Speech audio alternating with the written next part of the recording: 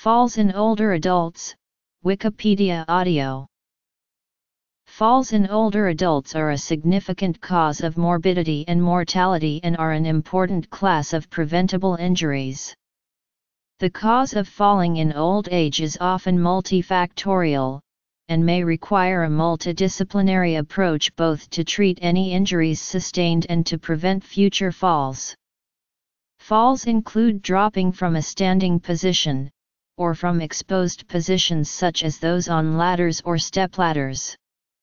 The severity of injury is generally related to the height of the fall. The state of the ground surface onto which the victim falls is also important, harder surfaces causing more severe injury. Falls can be prevented by ensuring that carpets are tacked down, that objects like electric cords are not in one's path, that hearing and vision are optimized, dizziness is minimized, alcohol intake is moderated and that shoes have low heels or rubber soles.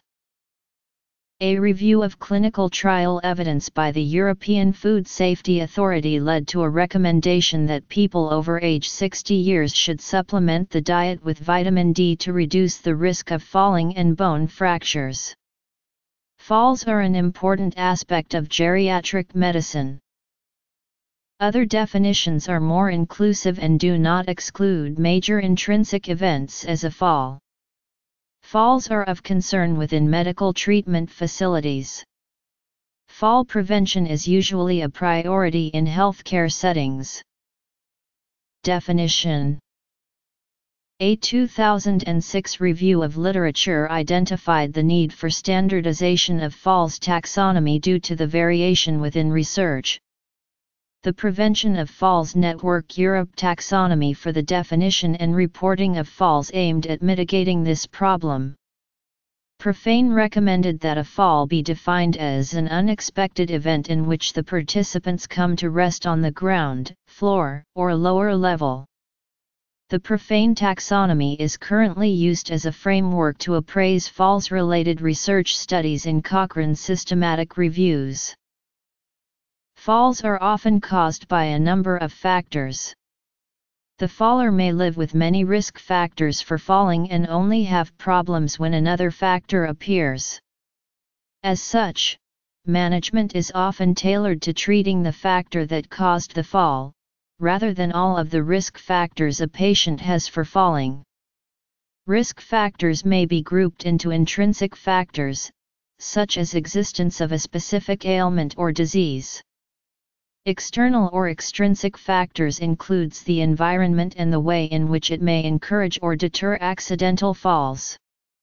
Such factors as lighting and illumination, personal aid equipment and floor traction are all important in fall prevention.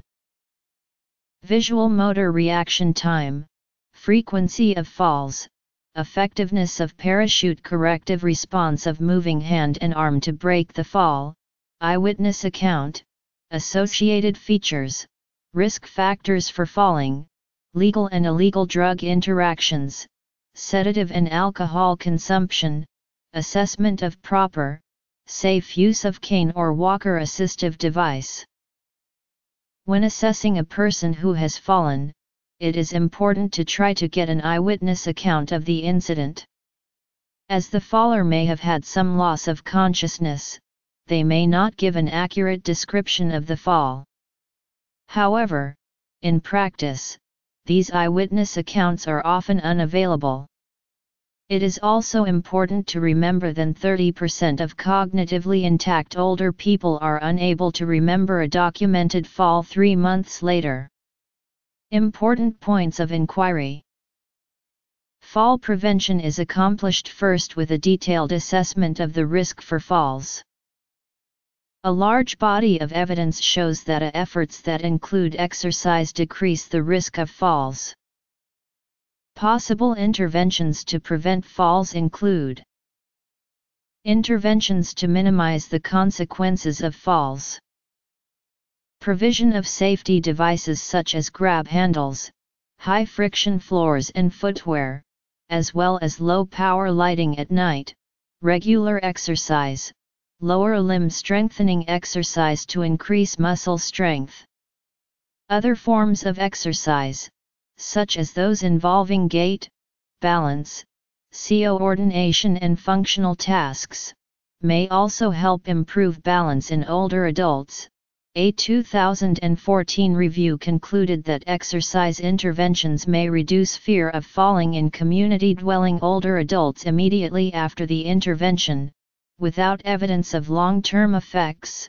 Review monitoring of medications and ongoing medical problems, supplementation with vitamin D, as determined by the European Food Safety Authority that vitamin D deficiency is associated with increased risk of falling and bone fractures in women and men over 60 years old. In order to obtain the claimed effect, 800 IU of vitamin D from all sources should be consumed daily, tackling environmental issues, including a review of current living conditions. People who are hospitalized are at risk for falling. A randomized trial showed that use of a toolkit reduced falls in hospitals. Nurses complete a valid fall risk assessment scale.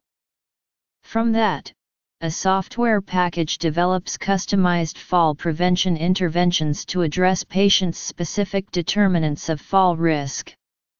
The kit also has bed posters with brief text and an accompanying icon, patient education handouts, and plans of care, all communicating patient-specific alerts to key stakeholders. American Geriatrics Society slash British Geriatrics Society recommend that all older adults should be screened for falls in the past year. Fall history is the strongest risk factor associated with subsequent falls. Older people who have experienced at least one fall in the last six months, or who believe that they may fall in the coming months, should be evaluated with the aim of reducing their risk of recurrent falls.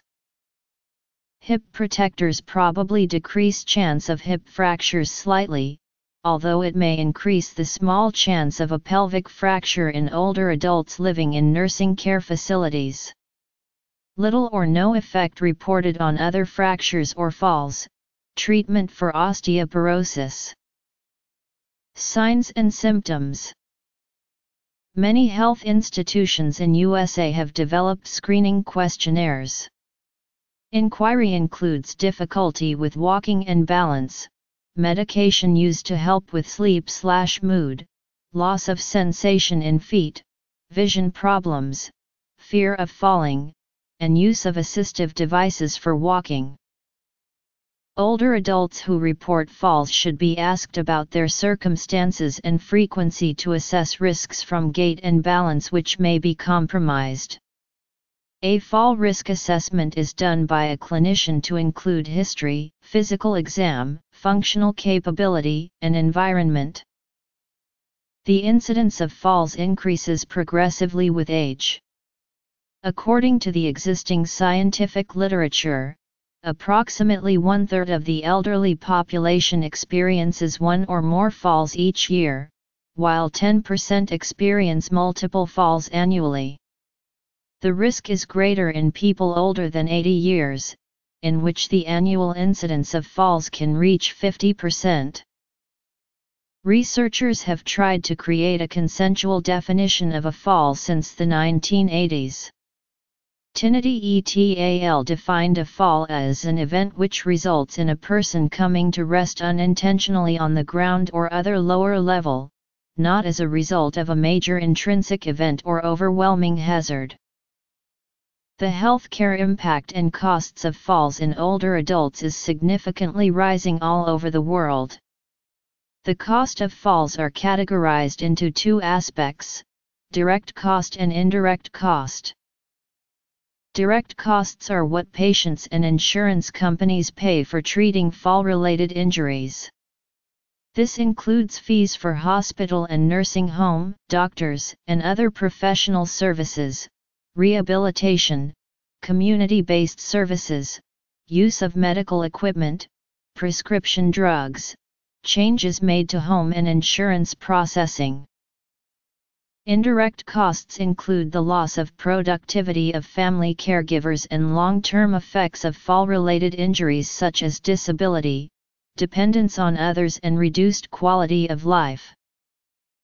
Causes Intrinsic factors In the United States alone, the total cost of falling injuries for people 65 and older was $31 billion in 2015.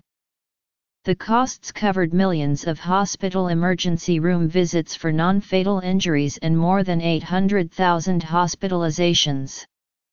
By 2030, the annual number of falling injuries is expected to be 74 million older adults. Extrinsic factors. Diagnosis. Prevention. Hospital. Screening. Furthermore, a recent systematic review has demonstrated that performing dual task tests may help in predicting which people are at an increased risk of a fall. Epidemiology. History. Economics. Research